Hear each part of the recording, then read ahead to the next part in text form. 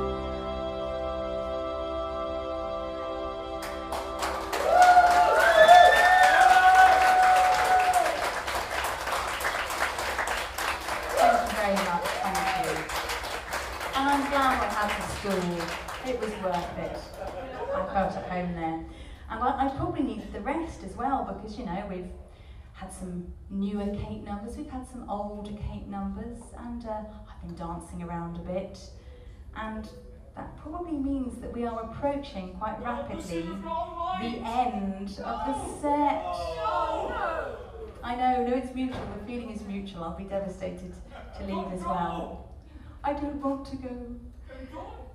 Well, unfortunately, time is a marching on. Um, but to cushion the blow, I will perhaps leave with a final song of Kate's. I don't know what it could be really, if only she had one huge number that everybody loved and was really well known, but sadly there just isn't one. You know, perhaps a song which came out in, is it 78 or 79, Fact fans? 78. 78. Thanks, guys. This is your last chance to sing along and throw some ballet shapes, ladies and gentlemen. It is, of course, Kate's finest hour, Wuthering Heights.